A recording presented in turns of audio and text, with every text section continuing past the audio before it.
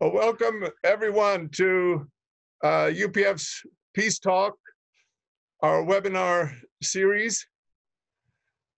We're very, very happy. We have a very large audience. We have an all-star group of panelists, a very timely and important topic that we're excited to present. Uh, we are living through challenging times. Of course, it's the time of the COVID crisis. And whether it's related or not, we're seeing uh, many uh, critical situations emerging around the world. Of course, the economic recession, but we're seeing rising tensions between two of the world's great economic and military superpowers, US and China. We saw recent uh, uh, flare up on the border between India and China. Uh, there are very serious issues being discussed in the Middle East. In my own country, we've had series of demonstrations and protests over the horrible killing of George Floyd by a police officer and calls for criminal justice reform and addressing the uh, longstanding problem of racism. And this has spread to many countries. So it is a time of crisis. Our theme today is the role of women in times of crisis. And certainly the crises of this time are not in short supply. We have hope. We do believe that even forums like this that promote dialogue, uh, respectful, constructive conversation about critical and important issues can play a very, very important role in our world at this time. So I'm very, very happy for our panel. I want to move straight away to introduce our moderator for today. The panelists, many of them represent the International Association of First Ladies for Peace, which is a project of UPF and the International Summit Council for Peace in partnership with Women's Federation for World Peace International, without whose help and support uh, this webinar would not have been possible. And on that note, I want to happily introduce Carolyn Handschin. She is International Vice President of the Women's Federation for World Peace International. She also serves as WFWP's primary uh, leader in uh, Europe and the Middle East, has been based in Geneva for many years and does incredibly great work there while also raising her seven children. So, uh, Carolyn, you take over from here. Thank you. Thank you very much, Dr. Walsh. Um, Women's Federation is honored to have been invited by the Universal Peace Federation to contribute to the development of the International Association of First Ladies for Peace and to help facilitate this important discussion today. Our discussion today, as Dr. Walsh mentioned, will be around a cross-cutting, broader topic, the leadership of women in times of crisis, and the creative and innovative solutions to the challenges that threaten our families, our homes, and communities that are being designed and implemented by women. These are often different than those proposed by male leaders due to different priorities, other knowledge, and experience. We are all well aware of the current pandemic and uh, the layers of loss and pain related to that. But today we'll look at this underutilized, relatively untapped resource of the unique leadership training that is learned in the role of First Ladies their access to communities, their empathy and concern created through their service in a position of support to their nations and their husbands who are the heads of state or government. Before introducing each of our five uh, wonderful uh, speakers today, um, I would like to just uh, mention that each speaker will have uh, five minutes, six minutes, and we will leave time to have a discussion among speakers and then questions and answers. Uh, as the speakers begin, their bio will appear in the chat column to the right of your screen. And uh, for we will not take time to introduce them at, uh, at length. And also, if you have questions and comments, you can write those in the chat box or send them to peacetalks at upf.org, as I think most of you know. And for translation, there is French and Spanish translation. One of our speakers will speak in Spanish. Um, and you can find the icon at the bottom of the page uh, with the menu of languages. It's a globe that you can click on and choose one of those languages. So, leadership of women in times of crisis. Our first speaker today is um, First Lady Debbie Remengesau, who is the First Lady of Palau, who actually cannot be with us in person, but has been very instrumental in organizing and, um, you know, investing herself and uh, her heart and her uh, incredible resources into the development of this new association of First Ladies. She was co co-sponsoring the two first main events. Because she cannot be here today, uh, her speech will be read by Dr. Julia Moon, uh, who is the president of the Women's Federation International. And we are very honored to be able to, um, to listen to these remarks and to have Dr. Moon with us. So Dr. Moon, you have the floor. Uh, thank you, Carolyn, for your introduction. Um, Dr. Walsh and members of this prestigious panel of First Ladies, good morning and good afternoon. It is truly an honor to be with you for this webinar. Uh, I thank you, Dr. Walsh and Universal Peace Federation for this opportunity to be here today. Uh, Women's Federation for World Peace International and I are honored to work together with you to support the development of this unique and promising initiative, the International Association for uh, First Ladies of uh, for peace. Uh, the opportunity for women leaders to come together across sectors, including civil society and first ladies, is hopeful for the betterment of our troubled world. Along with their leadership, experience, and knowledge, they bring a depth of concern, empathy, uh, heart, and commitment uh, to the greater good in addressing a wide range of pressing social issues. Uh, just yesterday, I learned that uh, Madame Debbie Remengesau, uh, who was so instrumental in the regional and international inaugural assemblies of the International Association of First Ladies for Peace, would not be able to join today's event. However, she wrote a very timely and profound message that I have the honor of reading to you. As you will hear, uh, rooted in her commitment to youth and protection of the beautiful, pristine nature of Palau, she describes a way forward. As a woman leader, she is outstanding. Her environmental campaign has won recognition and has mul been multiplied as best practice model around the world. Before reading the message of the First Lady of Palau, uh, I would like to convey the sincere hopes and concerns from the founder of UPF and WFWP.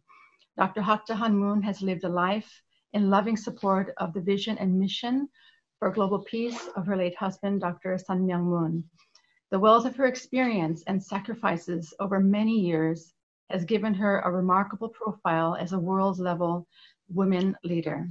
She is constantly inspiring and empowering women to be peace builders in our families, communities, and the world, and has great hopes for the outcome of today's discussion and the broader impact of women for a future peace culture. So without further ado, I would like to now read to you the official statement by Debbie M. Remengesau, First Lady of the Republic of Palau. Ladies and gentlemen, first and foremost, I would like to commend and congratulate Universal Peace Federation and Dr. Hak Ja Han Moon for your steadfast leadership in the face of this global pandemic, a time of uncertainty and many challenges. I am regretfully unable to virtually join the deliberations today, but I stand in solidarity with the global community as we work separately and collectively to address the unique obstacles and challenges brought forth by COVID-19. The Republic of Palau is among nine Pacific Island nations that have remained COVID-free. Since January, Palau's National Emergency Committee and other relevant government agencies have successfully developed strategic plans, protocols, and procedures to prevent the entry of COVID and prepare for the worst case scenario, COVID infection and transmission. We've closed our borders and adopted strict guidelines and developed a comprehensive plan governing our quarantine and isolation protocols. And fortunately, it has worked. We remain COVID free. COVID free does not mean we are unaffected. Like the rest of the global community, Palau has been extremely challenged by this pandemic. Like the global community, our friends and neighbors in the Asia Pacific region, our economy, health, tourism industry, and overall livelihoods has been greatly impacted. Through the leadership of President Tommy E. Remengesau Jr., and through partnerships with our closest allies, United States of America, the Republic of China, Taiwan, Japan, Australia, and others, Palau has received outpouring support and assistance to help build our capacity and response and to effectively prepare ourselves against COVID. Against COVID. During this unprecedented time, the world must look to each other. The world must take action, must work in partnership and in solidarity. Only by working together can we successfully overcome our biggest challenges. COVID 19 has undoubtedly taught us a valuable lesson, and that it does not discriminate against nationality, borders, age, and gender. The same lesson must be applied when we deliberate the urgency of our ocean's health and future. Marine pollution, unsustainable practices, illegal fishing activities, the use of plastic, and other global challenges that contaminates and destroys our ocean and natural environment. It does not discriminate. We are all affected. We are all losing, and our livelihoods and our children's future are at stake. As we continue to participate in this dialogue, share our experiences and lessons learned, deliberate on solutions and best practices, let us also reflect on other global challenges, climate change, global warming, and many others. We cannot stop at deliberations and discussions. We must act. And these challenges will remain if we do not give our undivided attention and action. To effect change, we must act. To effect change, we must do more than deliberate and convene. As the saying goes, actions speak louder than words. As I said at the inaugural session for the International Association of First Ladies for Peace earlier this year in Korea, without a healthy planet, there will be no peace, only war, no security, only uncertainty. There will be no human development, only human decline. The health of our precious planet is inextricably linked to the health of the human race. COVID is an example of this. And while we work to address obstacles born by COVID, let us not lose sight of other global priorities. As stewards of the ocean and the environment, as leaders, as public servants, as people, it is our responsibility to leave a safe, peaceful, and healthy planet that our children and their children's children can enjoy. Ke Kamal Mesulang, which means thank you very much. Uh, so this is the message from uh, uh, Madame Debbie Remengesau. Uh, I would like to thank uh, Madame Remengesau for her heartfelt message and for her great example in leading her country forward in these times of difficult times of crisis. Thank you so much. Thank you, uh, Dr. Dr. Julia Moon.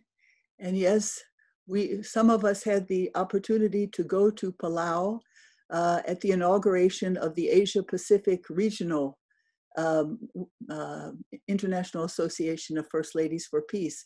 And we could see the way that she is uh, responding to the environmental, the potential and real environmental crises there. And that when you arrive on her island, on their island, you have to actually sign a pledge that you will be very much um, responsible and aware of everything that you do while you're on that island. And it's a very, very moving kind of philosophy, actually, that they have that uh, I think touches everyone who goes there. So thank you very much. Uh, our next speaker, Dame Patience Jonathan, former First Lady of Nigeria, a nation of 196 million people. I'm a mother of seven children, but I can't imagine what it must be like to be feel responsible for 196 million people. So I think she is, uh, she, I know she's very active in many areas. She works with the Security Council Resolution 1325. She is doing many, many things and continues to be fully engaged. So, uh, Madam Jonathan, we would love to hear from you. I want to commend the Universal Peace Federation for organizing this webinar and appreciate my co-panelists and the audience. Let me also use this opportunity to sympathize with all those who have lost their loved ones during this COVID-19 pandemic. I commend health workers all over the world working around the clock to save lives, even at the risk of losing their own. The COVID-19 pandemic is a challenge that the whole world is facing. According to the United Nations, the coronavirus affects all segments of our population. It has affected governments, economics, our environment, healthcare system, businesses, employment, our children education, families, the physical challenge, and our social life. The topic of today's webinar, the role of women leadership in time of crisis, is very important. We see Dr. Jan Han-Moon and her leadership style of the UPF towards achieving world peace we also see women all over the world showing great courage towards reducing the negative impacts of the coronavirus to our society. When this pandemic hits the world, most leaders did not expect the challenge it will bring. In Africa, the case is not different considering the fragile state of our continent. Even though the numbers of deaths are lower than those in the Western world, Africa may be worse hit economically and socially. My NGO for Women for Change and Development Initiative has been working with key stakeholders to provide accurate information about COVID-19 so that families particularly the rural areas, can be stay protected. We are in partnership with the Goodluck Jonathan Foundation to distribute food items to some uh, state gov governments to families that are affected by the lockdown situation, especially women who run small scale businesses we also partner with my successor, the First Lady of the Federal Republic of Nigeria, Ajia Aisha Buhari, and her NGO on a way to reduce the impact of the pandemic. This is similar to my what my NGO did when I was the First Lady of the Federal Republic of Nigeria 2010 to 2015. We deliver relief item to IDP camps all over the country. Also, as former president of the African First Ladies Peace Mission in 2013, I initiated effort to provide relief material to victims of violence and conflicts in Mali, Kenya, Sudan, Guinea-Bissau, Sahrawi Arab Democratic Republic in Africa. My outreach, the A.R. Richard Foundation has been involved in the issues of health and well-being of men and women and children. We intervene in so many cases to provide funds to families who have, who have loved ones with heart condition so that they can travel out for surgeries. We also partner with the National Hospital to build a world-class hospital and with also with Apollo Hospital in Abuja so that those one affected with heart condition can, be, can go for surgery. In adding to the new normals, my NGO is making plans to partner with some media organization, local radio station, and some national celebrities to collaborate on how to get messages. In various local languages to more rural communities to avoid community spread. We are distributing face masks and sensitizer to those families. And asking them to stay safe by wearing their masks in public places, maintain social distancing and wash their hands regularly and use sensitizer until we record zero case of COVID-19 virus. Women are good at taking initiative. So I am not surprised that all over the world, we are also at the forefront of managing this pandemic. In Africa, women are also working as doctors, nurses, and other caregivers, and their efforts has continued to yield positive results. In Nigeria, the Ministry of Humanitarian Affairs and Disaster Management and Social Development has a woman, Ajia Sai Uma Farouk, is working on behalf of the federal government to reach out to the less privileged families. Several Nigerian women in the entertainment, industry, sports, and various other industries has taken over the social media space to contribute in creating awareness that our people should follow the protocol of the federal government and the Center for Disease Control. After our meeting in South Korea, I paid a courtesy to Her Excellency Aijia Aisha Buhari to discuss issues of their child education and increase in women participation in policies and governance. We are also working with major stakeholders to draw up training and skill acquisition program for more women and provide startup pack for them. We are giving counseling support to women who suffer any form of abuse like rape and assault during the period of COVID-19. In most crisis situations, because women and children are more worse affected, we encourage our governments at all levels and the private sector to support more women in leadership positions, politics, parliaments, and businesses. Although the issue of building a peaceful society is everybody's responsibility. Women are critical stakeholders in nation building.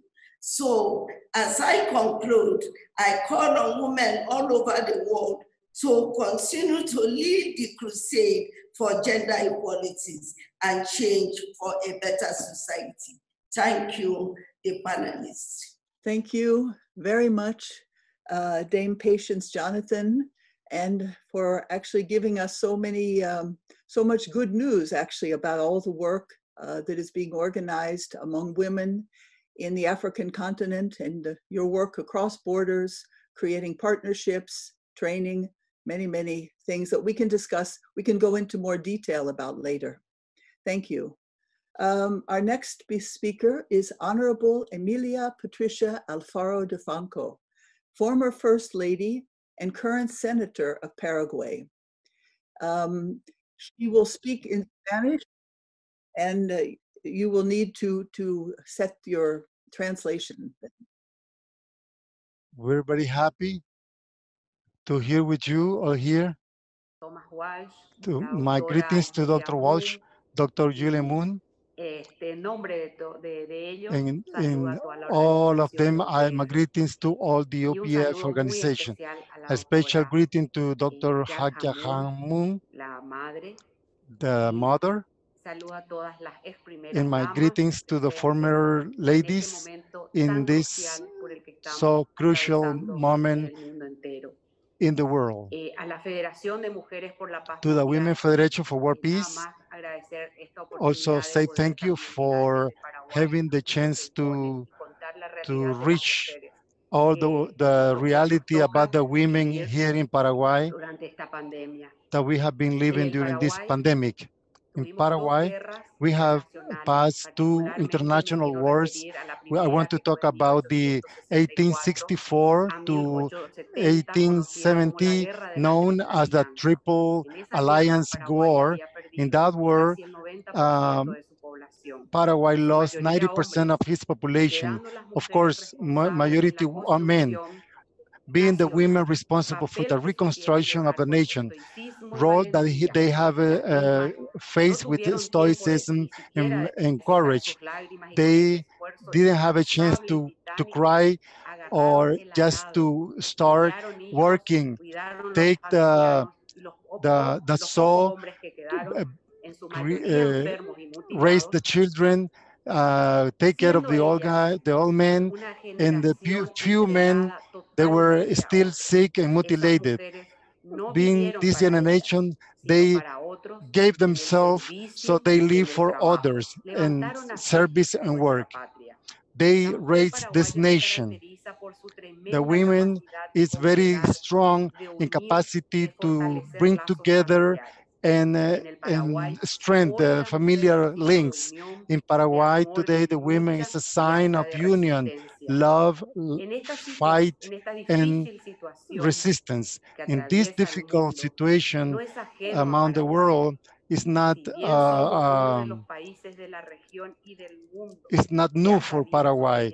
So we have been one of the regions of the world. We have been able to uh, rule to manage this pandemic uh, very successfully, having at least 13 muertes, n- uh, just con una población de casi 1,200 cases and only 13 dead people. With this population si bien all, the- of almost 7 million people, we have a good results in health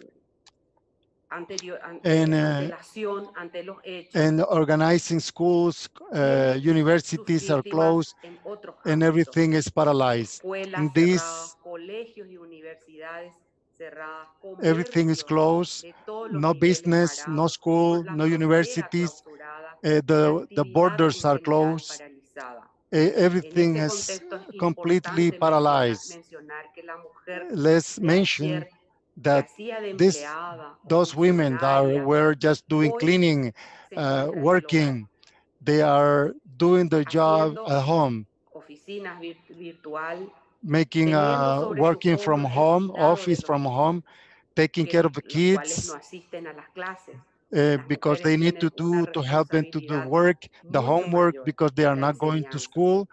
Uh, as you know, women they have some very important role in teaching, hijos a hacer las uh, because they teach uh, virtually, um, becoming, una actividad de dos a tres this, uh, this is an activity of more than three hours per day. Also, this is some, medida de los uh, the role of mother. Los tíos, sumando ya la larga Also, we- We need to take care of our being situaciones a- an aunt. como esta, el derecho a la So women, in the leadership of women in this crisis, uh, food, it's um, one of the more important papers of the world. surge la mujer solidaria. Then women, the solidarity of the women is the one who is going to raise by organizing uh, women together, by cooking, uh, uh, community cooking, they fed a lot of people.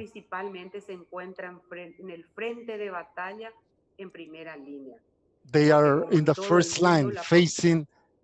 de profesionales de blanco prácticamente es de 3 a 1.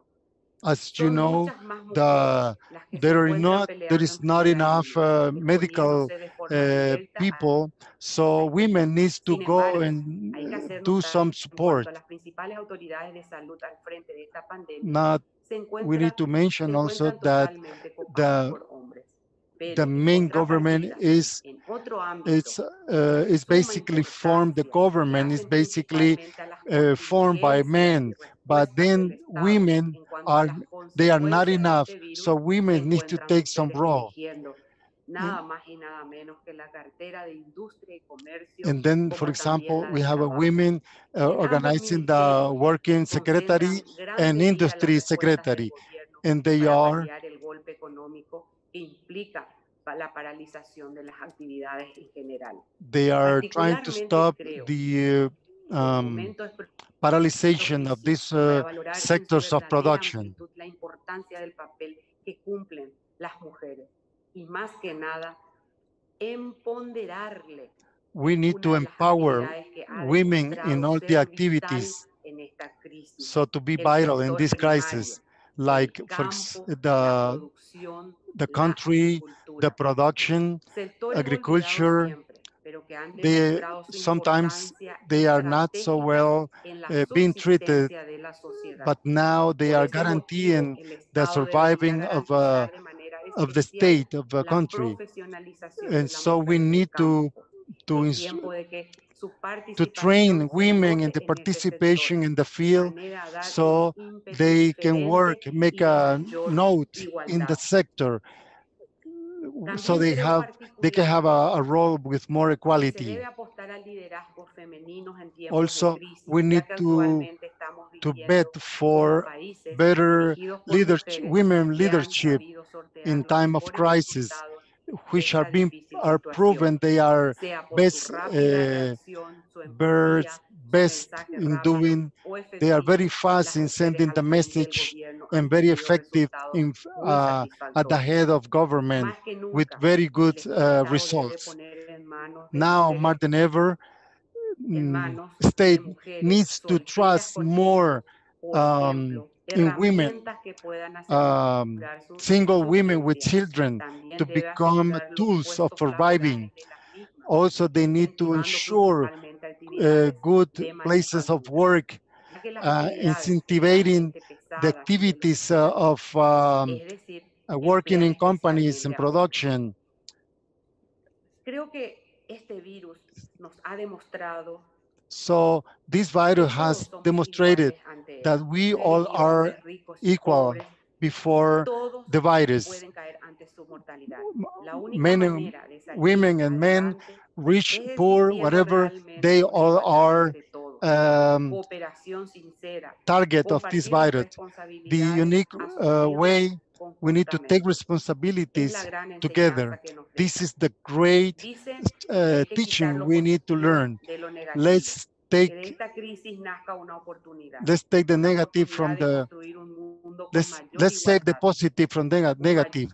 This from this un mundo con crisis we have a new donde hombres y opportunity to build a better world with equality, tengan las mismas with the same rights, uh, having the same opportunities and the same tools to go ahead, to overcome, to fight nadie sea más que against against this threatened El uh, nobody being better than others. We all have to fight in the families. Paraguay después de la crisis So we need to a depender del acknowledge the resurgimiento de cada reawakening of each country. Like in Paraguay, it's going to depend of uh, uh, capacity of women to come up to the front. Thank you very much. Thank you very much, uh, Honorable Emilia Alfaro de Franco.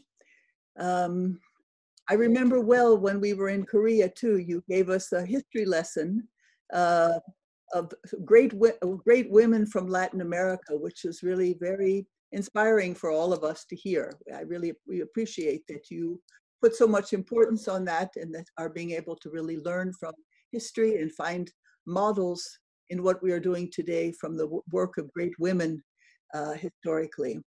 Thank you for your great work that you are doing in your nation and uh, still being on the front line as a senator. Uh, our next speaker today is Honorable uh, Nayla Moawad. Mawad, former First Lady, former Minister of Social Affairs of Lebanon, still very active in social development today. And uh, she has been an MP for 20 years. Uh, Madam Mawad, we're very happy to listen to you today. You have the floor. Thank you very much, and uh, thank you for organizing such a beautiful meeting so we can get to know each others. But before I tell you about the COVID, I must admit that I was First Lady for only 17 days. After that, my husband was assassinated, and I had to, to fight to continue the work he had started.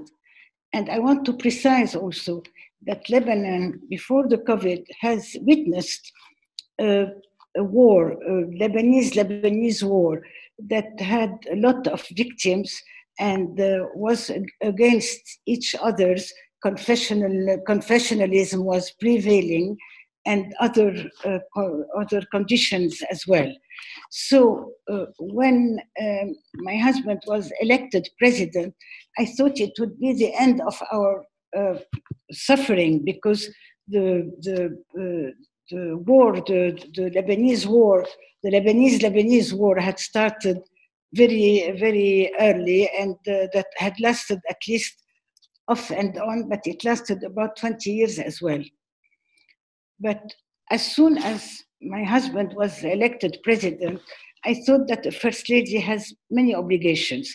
First of all, she has to be the first lady and uh, being near her husband in special circumstances, but also a first lady has to be near the people, has to be to have the empathy with the people, and has to know more about her, her people and the, the Lebanese people. So my first uh, opera, my first uh, initiative during these 17 days was to go in a very remote area of Lebanon that had just been liberated and uh, I, I spent the whole day there listening to people's complaints, what they wanted to, what they were lacking of, what their ambitions were, and what I could do for them. And still remained after my husband's assassination, where I took the place of uh, his responsibilities in our area, and uh, I became uh, uh parliament, uh, parliamentary uh, responsible, and I did a lot, mainly in two things: education, development, education. Development, it's human development, human development, and education is indispensable to make a human development. And development was very rare for women. Education was very rare for women and even most rare for children. So it has been my uh, ambition ever since. And I must say that I did work a lot, and I did work a lot on legislations for women and for children.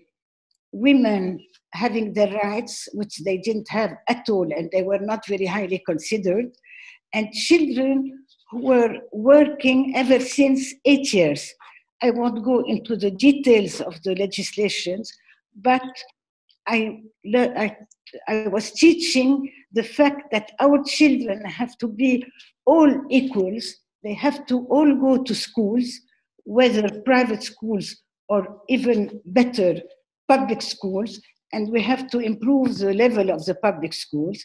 And women have to know they have a responsibility and their role is very, very important.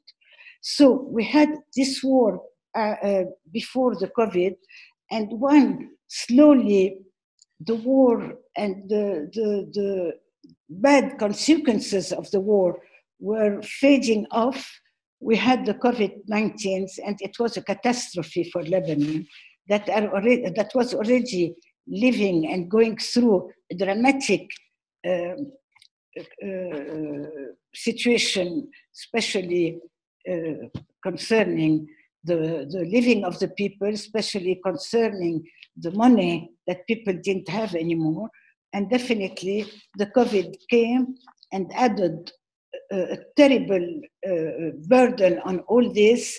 And now we are really going through, through a dramatic uh, economic situation, a dramatic uh, scholar education, a dramatic um, situation on all of it.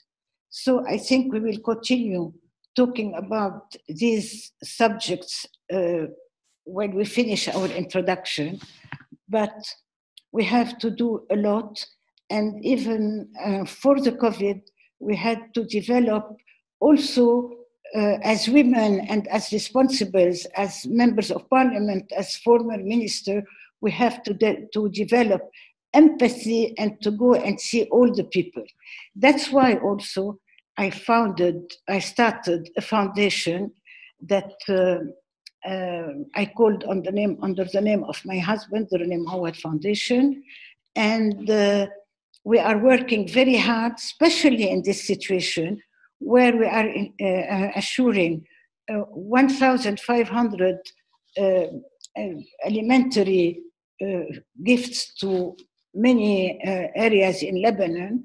And it's not only the area that I represent as a member of parliament, but I always say my husband gave his life for Lebanon, and I'm in charge of the whole Lebanon. I think it's better to continue and not to, to continue the conversations uh, amongst us. And uh, it's very important to get to know each other's better, to get to, to uh, and to help a more comprehensive project of uh, uh, being unified as first uh, first ladies, former or uh, actual first, uh, first ladies, and to, to benefit of our mutual experiences.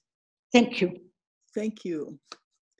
Thank you so much, um, Honorable Nayla Moawad. Um, actually, Madam Moawad was the only one among our speakers who was not with us in Korea at the founding uh, of the International Association of First Ladies for Peace. But when she heard about it, she couldn't go, but when she heard about it, she was right away very enthusiastic. And uh, thank you so much. You you really gave many um, kind of insights into how we can go forward actually in this with this organization as we are now starting to plan for the future. So thank you very, very much. Uh, our final speaker today, Mrs. Fionnuala Kenny, wife of former Prime Minister Enda Kenny in, of Ireland, uh, actually first woman to head the Irish Government Information Service, but also a very active woman who just actually we could reach finally last night. So she came in with really little warning, but we're so grateful, so happy that she was courageous enough to join us anyway. So the floor is yours. Thank you very much. Thank you. And good afternoon from Ireland. And I'm so pleased to see so many of you that we did meet in Korea, and that was only last February. And it's very hard to imagine how the world has changed since that time, and all because of COVID. I mean, it's certainly in my lifetime, I have never seen anything that equaled the impact of COVID 19, not a war, tsunami, 9 11, or other disasters, that this has been a truly global impact all over the world. Um, but and I say that that is the, the thing, as has has been said before by others. It is one of the things that COVID has shown us how totally interdependent we are, that we all share this small planet, and that really the virus has made no distinction between rich or poor, north or south, east or west. It, some of the wealthiest countries, in fact, like the, the US, has been one of the hardest hit countries in the world, and Britain isn't very far behind.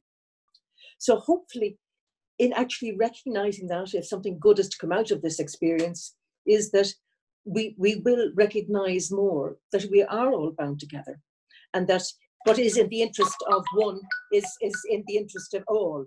I think that would that would certainly be a big help. That and, and looking forward that it will be, it will make a, a difference in international relations uh, another thing is to say that this virus has shown us, I think, is the need for our leaders to show truth, honesty, frankness, and openness with people. And, and I think people have, where they have responded best is where their leaders have given them the real facts based on scientific and medical information.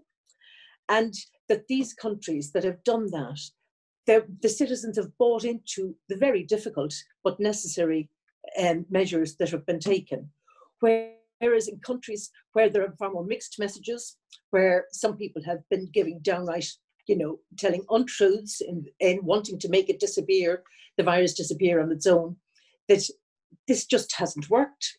And I think that again, it should be hopefully an ongoing lesson that if if we want citizens to to follow, um, as I say, a, a difficult regime, they knew they do need to understand the solutions and be given a clear and unambiguous pathway as to how to get there and why. Again, it's certainly true that countries that moved quickly had the best results. I mean, look at Taiwan, Singapore, Korea, Japan, New Zealand. And I think uh, moving forward, and I am trying to look more forwards than backwards. I mean, I, I think we all understand, you know, the horrendous impact it has had, but, you know, trying to look for what we can learn from it and looking forward, that um, I do think the World, the World Health Organization needs to be, you know, um, strengthened so that it can respond more quickly and more forcefully and more directly when and it, it is when the next pandemic happens, not if. I, I mean, I firmly believe that this is the start of something that we're going to see much more of. Again, one of the heartening things that came out of this crisis, I believe, is what has been the resilience, adaptability, the power of individuals and very small communities.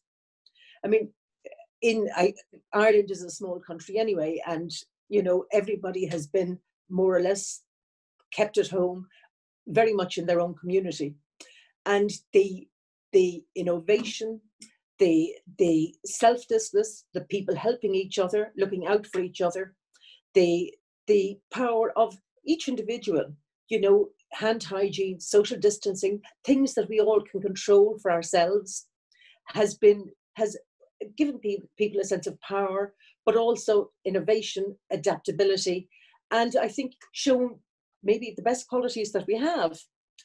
And you know, people have adapted to you know a whole range of of new practices, working from home, um, wearing face masks, which I think I always find difficult if you can't see somebody smile at you, and that's we miss out. But still, we adjust, adjust and adapt because we, we need to. As I say, helping neighbours. Again, industry, uh, I know in Ireland anyway, has been remarkable in that you know a lot of small companies out of out of the blue um, start diverted from their usual thing to manufacture PPEs, personal protection equipment you know some solutions sanitizers, antibacterial soaps, a whole range of different things that were needed at the time. And they did that voluntarily without being asked or forced to do so. As I say, showed a, a huge just sense of um, uh, community, but responsibility to the community as well. And I would like to think that, you know, businesses in the future can that can be tapped in again. So say for other issues like environmental issues, that that, that can be that sense of responsibility can be used again.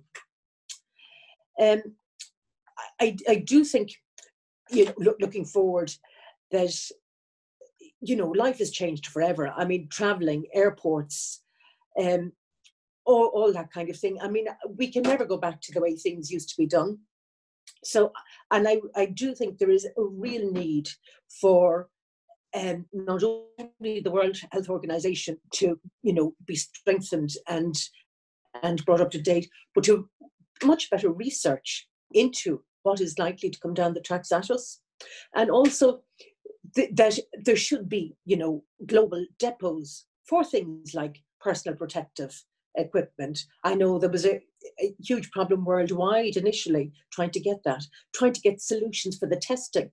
all those kinds of things. There should be stores of those, and hopefully that we will learn from these things and put those those um, measures in place so that the next the next time that it happens or whatever happens, that we won't we won't be so slow to to catch up with it. But you know, uh, the measures that we that have been you know proven so far to work can't last indefinitely. You know, economies have to function. Children have to be educated. They have to go to school. They have to socialize. So lockdown isn't a viable op- option in the long term. But I think we, if we relax measures, but in a planned and monitored way, then continue testing, that in the future, hopefully, targeted lockdowns will be all that is required and not huge global ones like like we have been doing up until now. There's I say another positive that and and, and I know the the um, former first lady of Palau that Dr. Moon read her speech was referring to the environment, and and I do think one of the positives of all of this has shown that has been the effects on the environment, that the diminishing uh, emissions and and the lifestyle changes, and hopefully these are things that will be ongoing. Like look at us here today doing a webinar instead of all congregating someplace, having flown maybe halfway around the world to get there. So I think there will be an awareness of think I, I that have in both business. we're a little, we're running a little bit late. I think I have to, is it possible you could maybe uh, Yes, of course. Of course. Sorry, Yes, did I go on too long? There's that no, I just wanted to say anyway that that I do think apart, apart from the negatives, there are positives. We must learn to to work together and to be in a truthful, open and honest way. And look, I'd like to thank you to uh, uh, Dr. Julia Moon and, and, and Dr. Walsh and the Women's Federation for World Peace for facilitating this. And hopefully it's only a small step in what will be a bigger and ongoing global cooperation. Thank you. Thank you. Thank you very much. That's exact, exactly what we're hoping for this too. Uh, Dr. Walsh, I wanted to ask you, should we take a question or two or should we have the discussion? We, I think, uh, first of all, excellent, excellent panel. Uh, great presentations. I think we have about 10 minutes left. I would suggest you invite the panelists if they would like to just make very brief comments, perhaps alluding to things they heard from the other panelists. And then if you have a couple of questions, maybe you could just read abbreviated versions of a couple of questions invite the panelists to make their final comment and perhaps address those questions. We need to wrap up in 10 minutes. okay, as Dr. Walsh uh, mentioned, I, we take just a few minutes are, to have a, any kind of response to the presentation of others or any forward-looking ideas related to what we've been discussing today. In, in just a very, would anyone like to, to say something?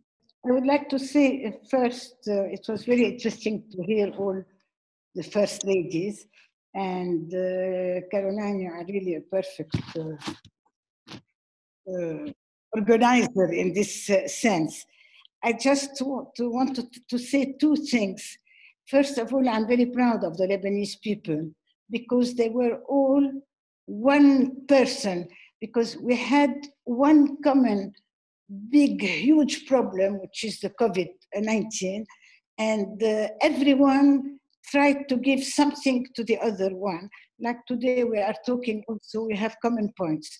And the most common point was the confinement that brought us to think of our lives and to see that we have been very uh, spoiled before. And we go, we went back to our inner personality and to see that we were interested by many things that were not very interesting. And uh, uh, uh, being uh, alone to think and being alone to help, it's, it's fantastic. And this is the, the big lesson of COVID 19 without mentioning the, the dramatic consequences of people who were uh, ill and mainly the people who died, of course. Thank you. Thank you. Maybe one more? Is, is there one more comment or before I read a few questions? Yes, please, Honorable uh, DeFranco. Ok, gracias. Thank you. No, comentar de que I want to say this is my in my country, Paraguay, Paraguay. Also, eh, we are facing the crisis. Además de- de Besides uh, what we all know, this uh, also we are hit. el país a Yes, nivel we are one of the more. We are less contagious, muerte, pero una but very high in corruption del manejo de la in the manage of government, Eh, public government. Please, All the los que están governments who are healthy en ese, en about that, ya que también nos dio eh, la oportunidad de crear nuevos grupos because we have been able to de la plata del create new organizations to face this uh, corruption. We have been creating better eh, situation for health. crisis es lo que And now in the middle of crisis, vio, saltó a- eh, mucho más que now this corruption became more evident because they preguntarles a, a todas they found everything was collapsed por todo el before que, the coming of a pandemic. en sus países y, y So please, really, we are duele muchísimo eso we suffer so much when we tenemos que también we say this and also something that the women need to cambio de esta denounce situación que nos because this is really striking us very strongly. And I just wanted you to know that. Thank you. Thank you. So maybe, so because we have questions from all of your regions, actually, too many for us to read, but maybe I could just read a few of them, abbreviated form, and then we could take a minute, even less than a minute for kind of a final word from each of you. To um, um, Honorable Patricia Alfaro de Franco, how families can earn income during this lockdown? How are they surviving? Is, how is the gover- government able to support? And is there a way that women can help women to get through this in a better way? Uh, there were many questions about, actually not necessarily about the COVID virus, but about like things like violence, violence in the family or rape. And um, we have a question, um, gender-based violence recently in Africa. How do we combat this? Uh, and also how to raise our female children, our girl, the girl child to be able to defend themselves and to really live in dignity. I think these are affecting actually all of our continents, not just, you know, any particular one. Also, how do we change narrative about women in top executive positions? Currently, women in leadership roles have to adapt male kind of uh, characteristics in order to be accepted in some fora. Uh, how can we change that through our sort of solidarity and working on these issues together? Um, it has been my worry and concern for a long time about the role of first ladies and women, especially in Africa. Concerning donations for the COVID 19, there has been some misappropriation and corruption. What could a network of first ladies do to avert this crisis? Uh, Dr. Walsh, is there still time for a word from each one? I think, I think please invite each panelist to give a kind of closing 40 second uh, statement. Okay, so maybe we will go this time from the last speaker to the first speaker. Uh, Mrs. Kenny, could you start? Yes, I'd just like to take up the issue of domestic violence because in Ireland there was a very big in- increase in domestic violence while people were locked in at home and obviously frustrated and maybe seeing more of a partner they didn't really particularly like. And so I do think it's the responsibility of every government to put agencies in place where women can escape, can get out of bad situations.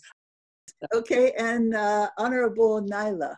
Well, when you are talking about violence at home, I must say that un- very unfortunately, the confinement has uh, increased violences at home, and women must be stronger. They have to refuse because when they don't accept the first time, it doesn't continue. And uh, we have so many things to talk about. What I wish and to, to, to, to tell you and to tell Dr. Walsh that we have to continue meeting each others so we can get enriched from each others and we can bring our countries together and we can bring our problems together. Thank you. Very good. Yeah. Okay, and then uh, Honorable Emilia DeFranco, yes. Nada más agradecer, gracias. Just thank you to all of you, Thomas, gracias Doc- Julia, Dr. Walsh, and Julia, encuentre más unidas, y please let's let's get together, let's unite stronger, no solamente en and let's make a big network of women, not only está middle of this crisis, but entra como but, ladrón uh, silencioso y nos lleva lo, but loving, but don't allow the death to come into our families and take our kids away or our beloved ones. And please keep teaching values which you cristianos, are being teaching us, the Christian values nos ha dejado. and the values that God has given us. Thank you very much. sigamos reuniéndonos. Thank you. Let's keep getting Saludos a los together. Thank you. Uh, greetings to Dr. Dr. Hak Ja Han Moon. Thank you. That word will be passed on to her. Madam Jonathan, Dame Patience Jonathan, uh, uh, last word? else should be brought up. So speak without fear. It has been interesting. I hope we can go from here to some in our. Thank you. Thank you. Thank you very much. And Dr. Julia, would you like to say a closing remark? Um, I was very inspired to hear all of our uh, First Ladies speaking today. Um, I believe that um, uh, Madame Remengesau really uh, addressed the root cause of the crisis that we face today with COVID-19. Um, we refer to Earth as Mother Earth because it is the womb of life on this planet, the nourisher, the nurturer, and the ultimate giver of life. Uh, these were the words of our senior vice president, Sun Jin Moon, which she, she expressed so eloquently. But we really do need to come together to take care of our planet. Um, and we must value the nature as the foundation for a healthy society and uh, really embrace a healthy and uh, green recovery. Uh, I think this is the way forward, and Debbie Remengesau expressed this very well.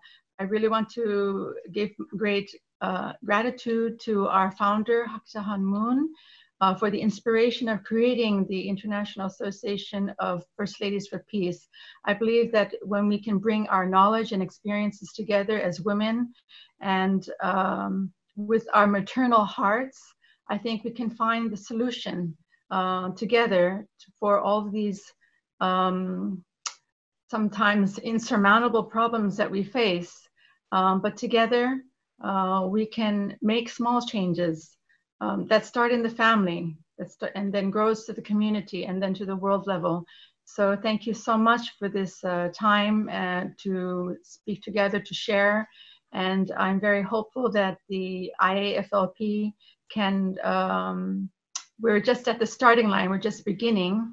Uh, and I hope that we can uh, do great things together for the betterment, betterment of our societies, communities, and the world. Thank you very much for this uh, wonderful webinar. Thank you. And Dr. Walsh, I hand the gavel back to you. Well, Very good. Uh, Thank you, Carolyn, and thank to all the panelists. Uh, Fantastic, uh, brilliant uh, statements, and uh, I learned a lot, and I'm extremely encouraged. And I've been reading the chat. The chat is buzzing away with good comments and insightful comments about the many wonderful uh, statements that you have made. Uh, We do need to come to a close. I just applaud everyone. And I remind everyone, we will have a very important uh, Peace Talks webinar one week from today, beginning at 9 a.m.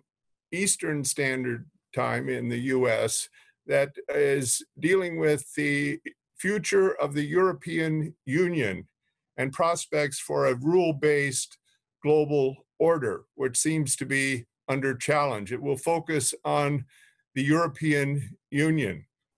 So I encourage everyone to join. We will send out announcements. There is a questionnaire at the end. But uh, I conclude, just give my applause to the panelists and to the moderator and uh, wonderful, wonderful webinar. Let's keep it up and we'll do more of these in the future. Thank you, everyone. Brilliant. It was good. Thank you. everyone. That was really wonderful.